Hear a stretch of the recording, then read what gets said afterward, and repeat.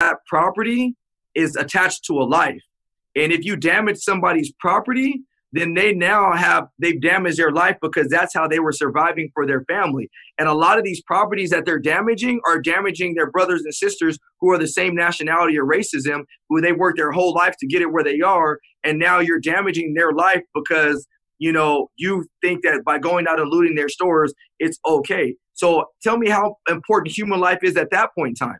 Because property is a part of human life. I don't care what anybody wants to say human life is important, but property is also a, a, part of that because human life is what allows us to substantiate, sustain as a family, to grow legacies and generational wealth.